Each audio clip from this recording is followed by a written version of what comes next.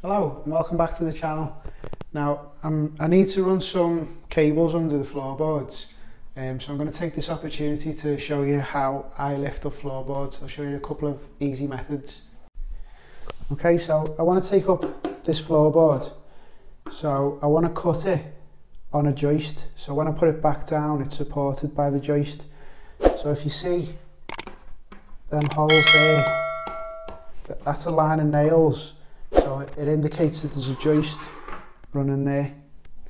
So then 16 inches or 400, there should be another one, which is there. You can just about make out them nails. They have got putty over the head, so they're a bit harder to see.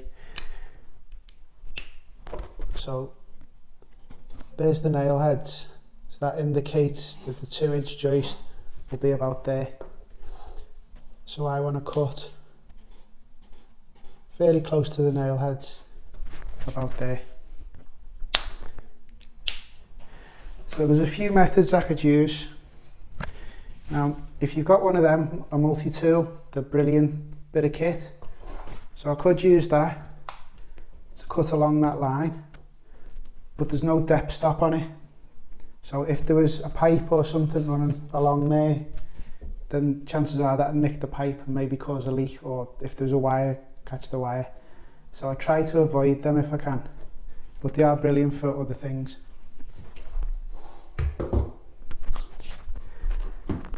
Another method to use is a 3 milli bit. And what I could do is chain drill a load of holes there and then get a panel saw and just cut through them holes. So I'll show you that one in a minute.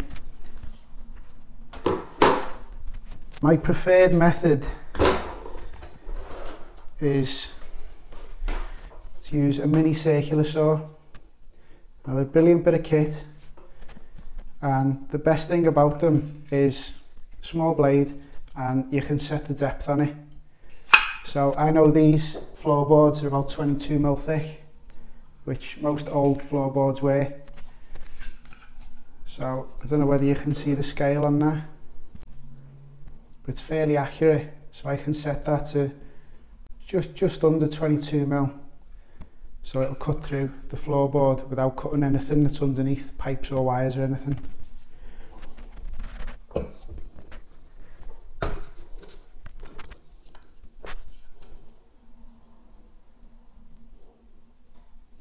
Okay so there's 20 mil. So I'll set it to about there. You see that little arrow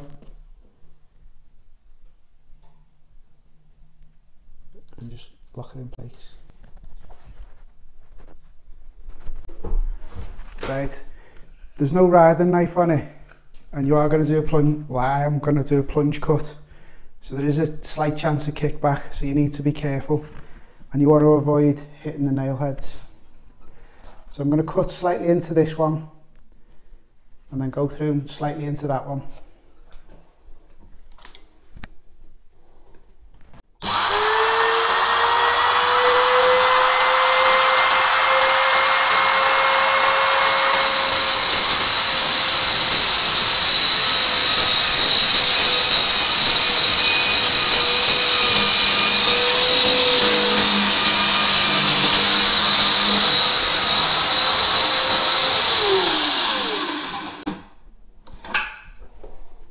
Okay?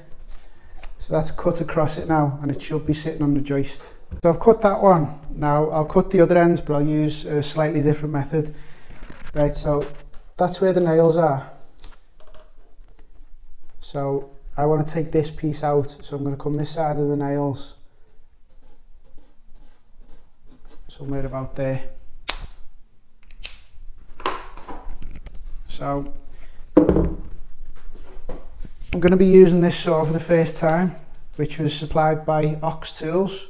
I've heard great things by them, but I've never actually used them, and they sent me a few of the tools to try out. Um, so I'll give this a go. So anyway, if, if I try to cut through that with a, a panel saw, it'd be quite difficult to get a start. So if you haven't got power saws or whatever, um, and you've got a drill, I've got a three millimeter drill bit in there, So I'm going to chain drill a series of holes which will allow me to get the saw in and then cut it along the joist. Okay, so like before, I don't know if there's a, a pipe running under here or anything like that. And I haven't got a pipe detector or a wire detector. So I only want to go through the thickness of the floorboard. Um, I don't want to plunge all the way through with the drill because I don't really want to go through a pipe and then have a flood. Um, so what I'm going to do I'm going to put a depth stop on it. So a little bit of masking tape. and uh, 22 mil the masking tape on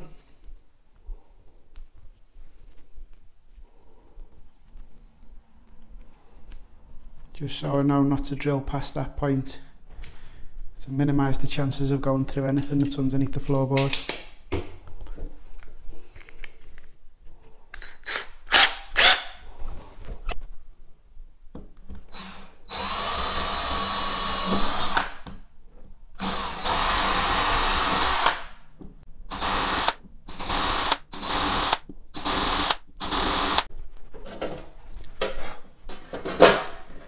might help if we use the straight edge as well to keep them all fairly in line.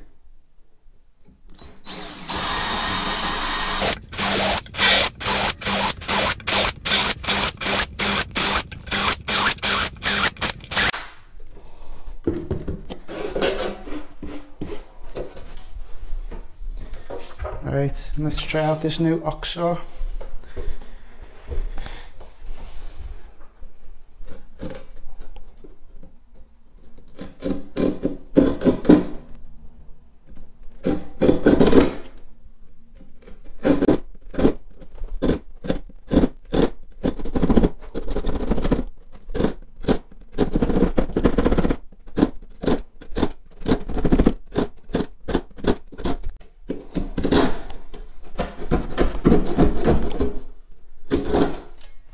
Okay, so that's down to the joist now. I've got to say these ox saws aren't bad. I'll definitely use it again. If you were going to use a multi-tool with a saw blade in it, then to stop yourself going too far uh, and going through a pipe or a wire, then you could do the same again. Put a bit of masking tape on it as a depth stop. So they're the three easiest methods I've found. Okay, so these are tongue and groove floorboards. So one's got a tongue and one's got a groove. So inside there you've got a piece of wood which you've still got to remove.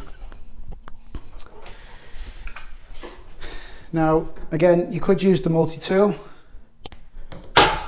or you could use the mini circular saw which is my pre preferred method. So I'll show you that one now.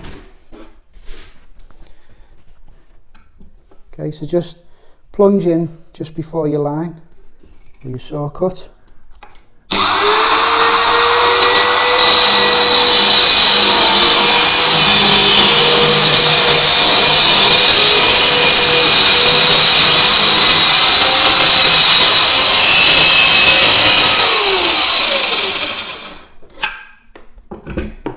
That's cut away the tongue nicely there. But if you haven't got one of them, then you can use a floorboard chisel and a hammer. So basically with this, all you're doing, you're putting it into the groove and then you're going to break away the tongue. Um, so it's going to splinter away inside.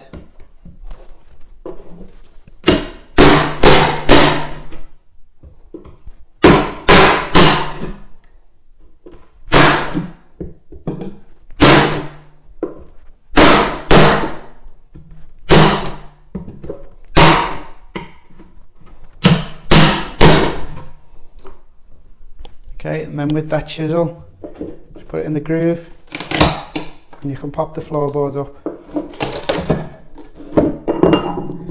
Okay, so using that method, you do break away a bit of the floorboard. So I've cut them, they cut fairly cleanly. Um, I'm well on half of the joist, so when that goes back down, it's easily going to be supported by the joist each end. So when I put floorboards back down, I don't like to nail them in case they've got to come back up again. It's much easier to take them up when they've got screws. So I just use some 45 mil screws or 2 inch screws. But because I'll be screwing them close to the end of the board, I always pre-drill them first with a pilot bit. So just take the tape off. Right, so I'll come in a bit from the edge and the joist goes to about there. So I'll come back here and just drill on a slight angle.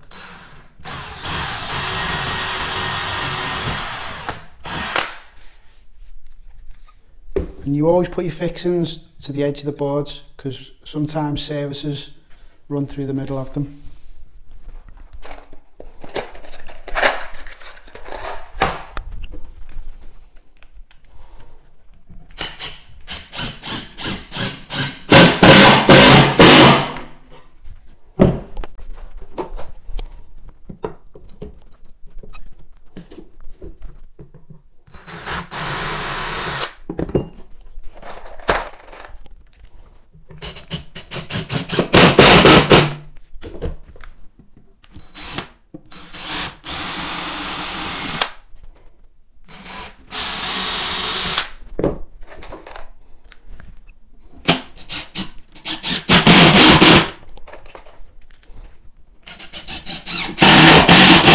Okay, so that's how I remove and replace floorboards for running services under the floors.